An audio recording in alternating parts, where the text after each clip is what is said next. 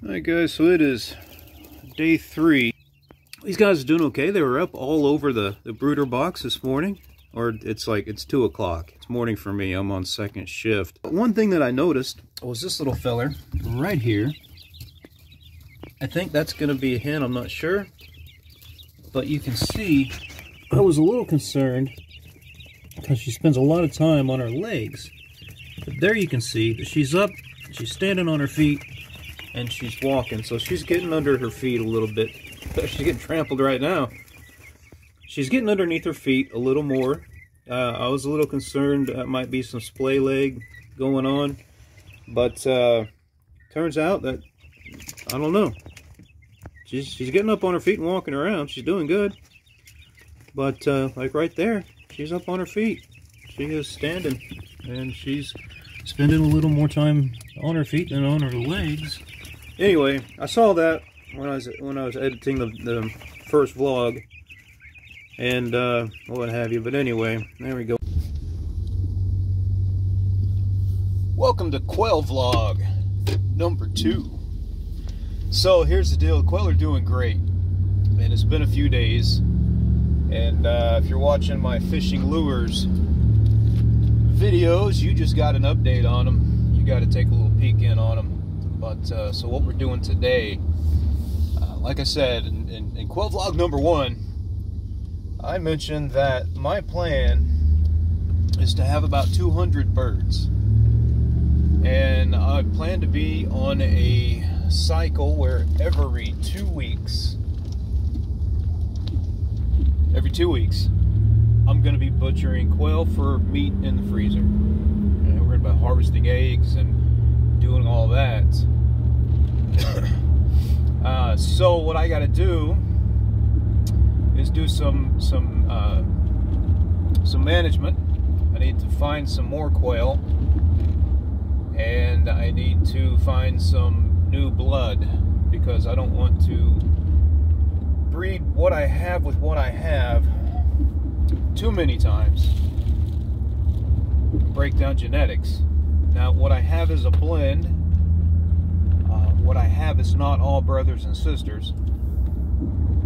So I should be able to breed three generations until I need new blood. So I got, uh, I found some new quail farmers that I'll be able to, to uh, found some new quail farmers and I'll be able to get new blood from and uh, kind of mix my flock in. So I'm kind of excited about that. So records is next on my list, but first, I've been rat holing away a little money, and I had to explain to my wife last night that I was rat holing away a little money. To which, you know, oh, how come you haven't been spending that on all this garbage you've been? Well, it's because I've been rat holing it for a purchase.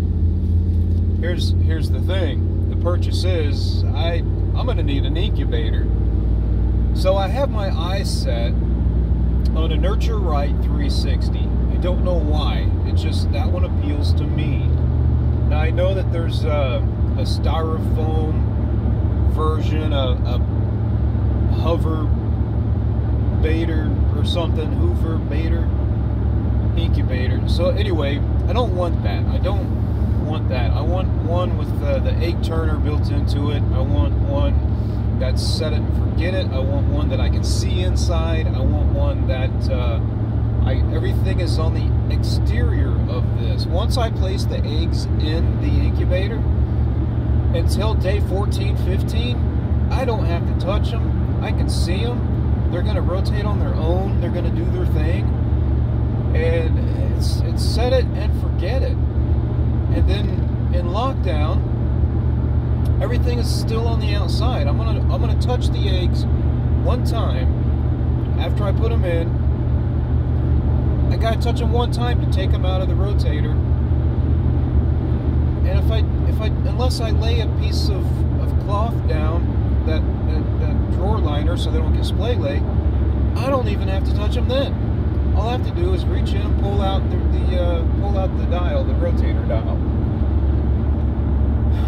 anyway, I got a couple other checks that came in, and uh, I'm going to put that with the sixty-nine dollars.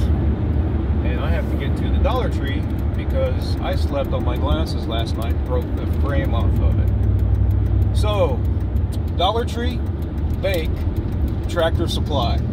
Let's make that happen. Hey guys, so we're at Tractor Supply. Stopped by the bank, got a new pair of glasses from the Dollar Tree, and that's the best place to get glasses because I'm pretty sure I broke mine falling asleep on a couch with them last night. So I always buy the cheap stuff. I bought quality before. The same thing happened though. I fall asleep in them and they break. So let's go get our incubator. Now they're supposed to have one in stock, says online. In stock, pick up at your store. So that means they're probably not going to have one. Let's go find out. Look at there, last one. Last one on the shelf. And we got a cage too. So let's get home, put these things together, and see what happens. Okay, so got me a new pair of glasses at the Dollar Tree. And I'm going to tear these up pretty soon, I guarantee you. Stopped by Bueno in the bank, got the money, got some, some, some food in my belly, and I picked up the very last Nurture Right 360 they had on the shelf. Now, and you can hear them over there. Now, here's the thing. I hate buying the last one on the shelf because there's no tape on here. What if somebody opened this, realized it was broken or cracked or something, left it on the shelf? I don't know. So, let's open it up. Try not to shake the table too much. Let's open it up. Find out what you get inside a Nurture Right 360. I'm so happy I was able to pick this up. All right, so cracking the box open. This is like Christmas time. Woo. First up, instructions.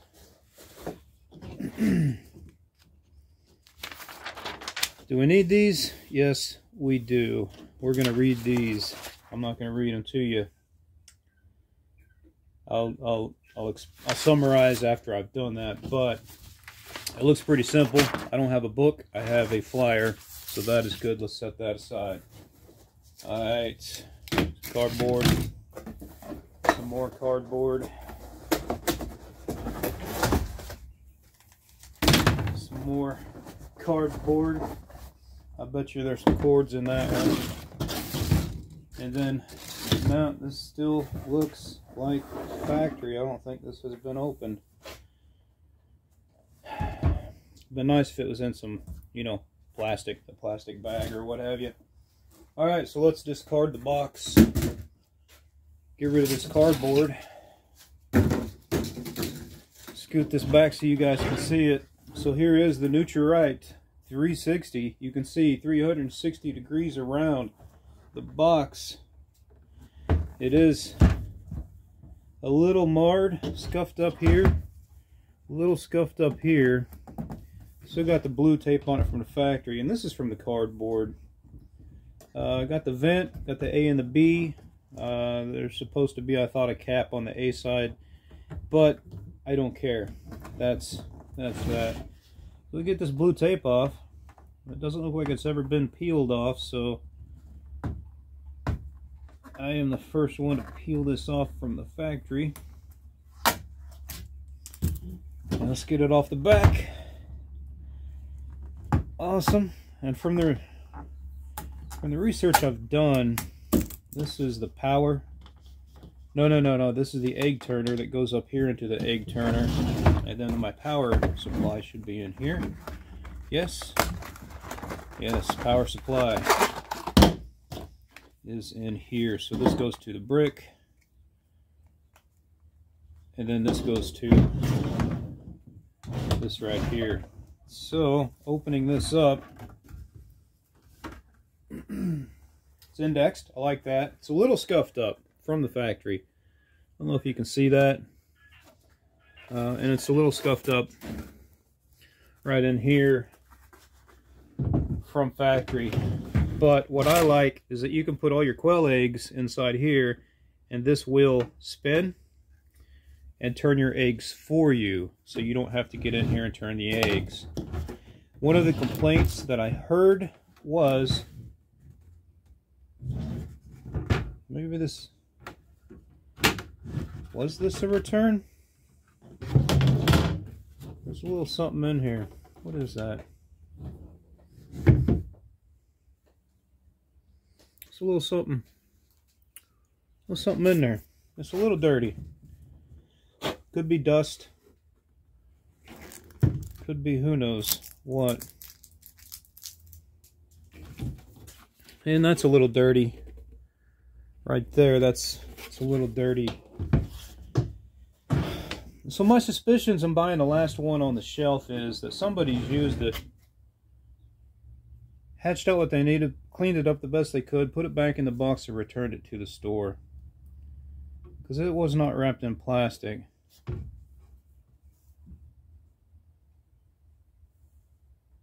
It kind of looks, I don't know, it's dirty here too. Maybe, maybe that was the case. Maybe somebody used it. So let's turn it on. Do that much. Just to satisfy my curiosity that I did not purchase something that is used. So that's just going to drop right in there and it's indexed. Okay. Okay. And there should have been an A. No, no, shows on the box. There's no there's no cover on the A side, just the B side. So I'm just, I'm thinking. I'm thinking stuff. Okay, so this is the cordage for the egg turner. Let's get that unwrapped. Okay, let's put this back on here. And this goes into, well, I got to put it on correctly put this back on here. This goes into the slot marked egg turner. And this, okay, I can tell this has never been plugged in before. It's a tight, snug fit.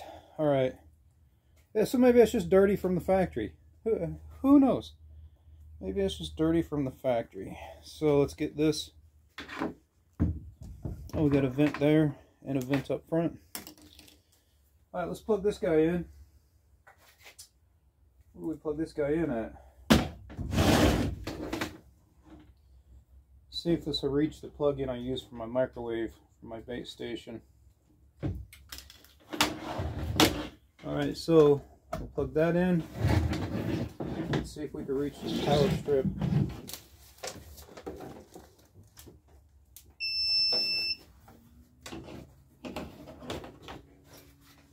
and we're alive. We are alive. So this is this is the life we have, the temperature and the humidity and all the settings. Uh, days displayed days to hatch. Okay. 21 days. We're gonna can I decrease that?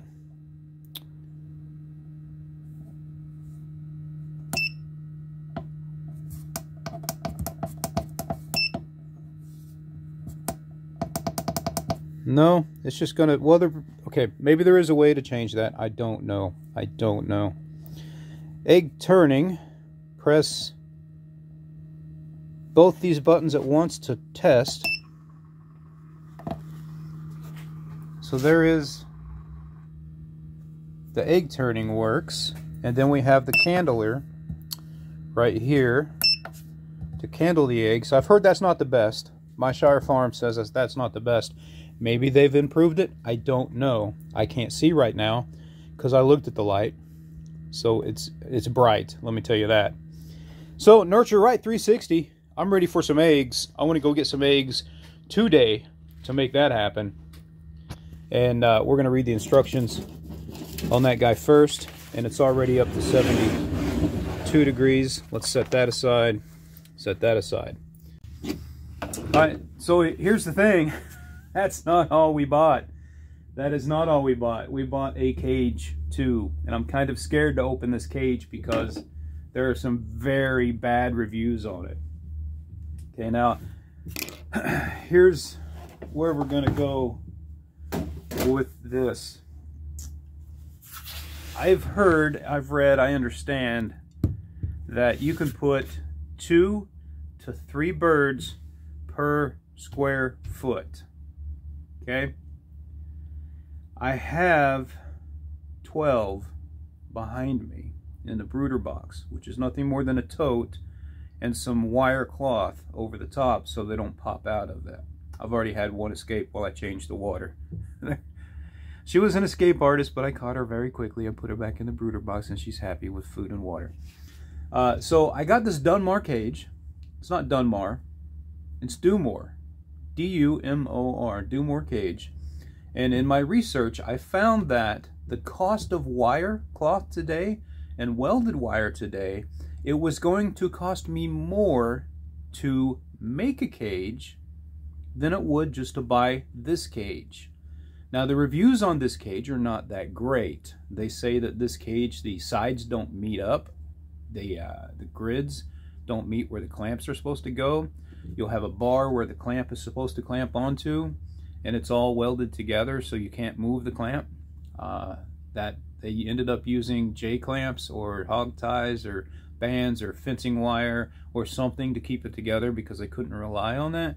But so I'm hoping those are really old reviews and I'm hoping that this is corrected, that they've changed it, that they've made some changes. So here's the plan. This corner back here is going to be no longer Christmas storage. I have Halloween decorations. I have Christmas decorations. I have uh, tinsel, tree, uh, Christmas lights, color changing graveyard scenes for stuff. I have my dust collector from my shopsmith over there. Uh, that's all going to get cleared out and I'm going to do stackable cages, which is why I went with the Dumor. So I don't want to mess this up. So we're going to set this guy up here just like that. Let's grab the Dumor 36 by 30 small animal cage and get it set up. All right, can you see that? Kind of designed for rabbits. They call it a rabbit cage, but they also call it a small animal, small animal cage. So let's set these over here before I break them.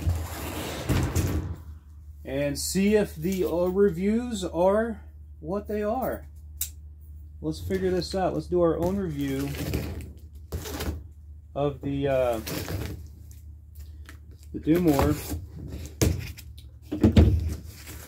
small animal slash rabbit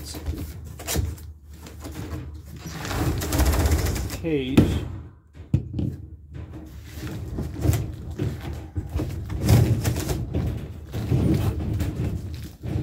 goodness. What are we hung up on? Okay, we're just coming out of weird angles.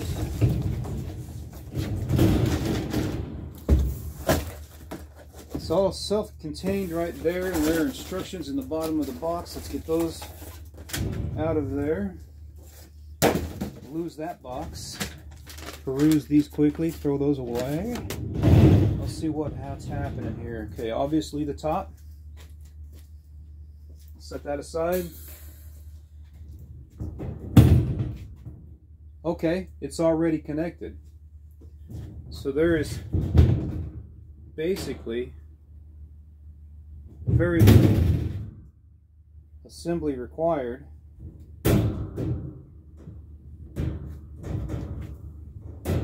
Looks like everything is matching up exactly how it's supposed to. Let's bring this side up. Interlock that piece, interlock that piece, interlock that piece.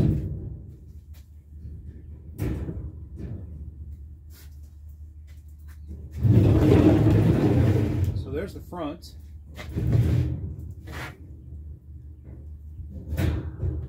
There's the door. Everything looks good to me.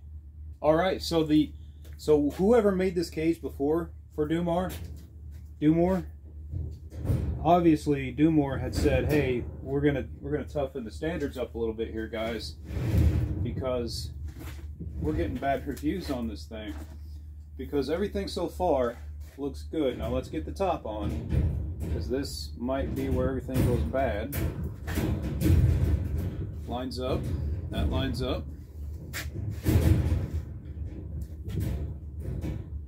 That's good. That just popped out. This is this goes here. And this goes here. This goes under, this goes over. Under, over. Spin this around. This goes under. So far, everything is lining up perfectly. Look at that. Okay, so here's the thing that I like about this. This is 30, 36 by 30, and this should be by 18. Should be 18 tall, 36 wide, 30 deep, okay? Now the website shows it's 18 wide, 36 tall, which is obviously wrong, and people are upset about that. People are losing their minds in the comments that this cage is not 18 long, 36 tall, and they want clarification, and idiots are just repeating what the website says. It's like, no, that's obviously wrong. You can tell by the picture it's not 18. So let me let me find a tape measure. We'll throw it on this, get the actual dimensions. And it should be 36, 30, 18. That's what I wanted. I'll be right back. Okay, can't find tape measure, but I got a laser. And that's the uh, that's the next best thing. So we'll set it up here. I'll shoot my hand. And it is three feet exactly. Okay, so I'll just set it up here and shoot my hand. And we are two foot six inches. So that is 30 inches exactly. So we'll set it up here and shoot the table.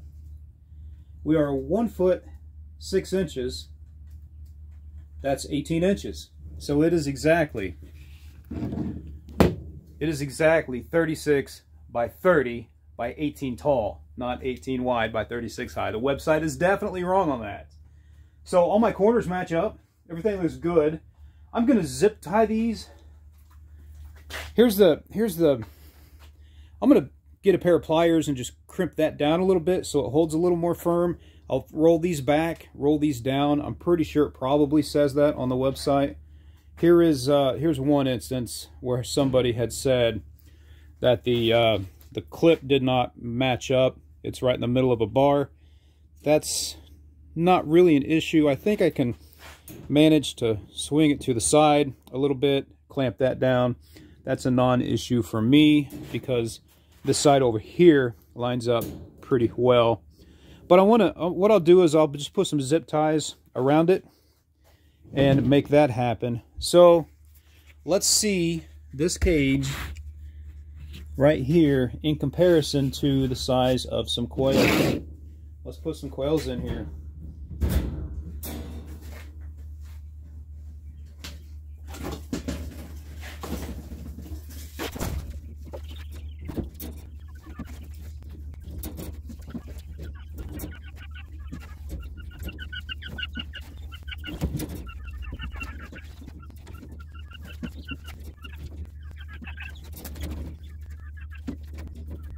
Good. Good girl.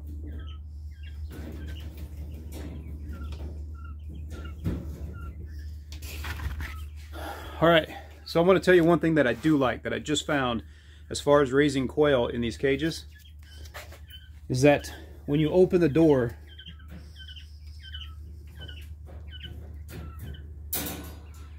you have a lip here that's pretty deep.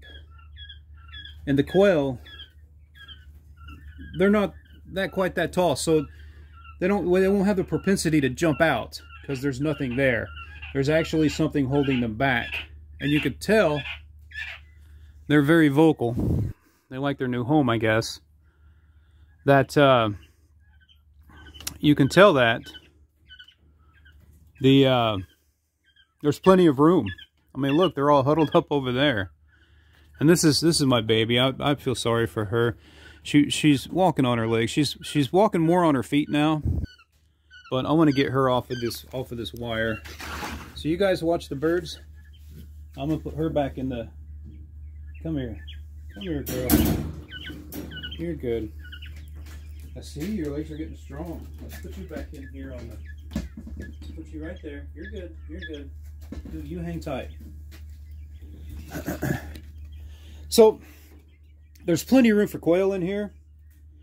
And I don't think they mind the life jackets in the way, but there's these brackets on here that's going to allow me to run a 2x4 and set this cage in a stackable configuration where I can put three, four cages in a, in a, in a tier.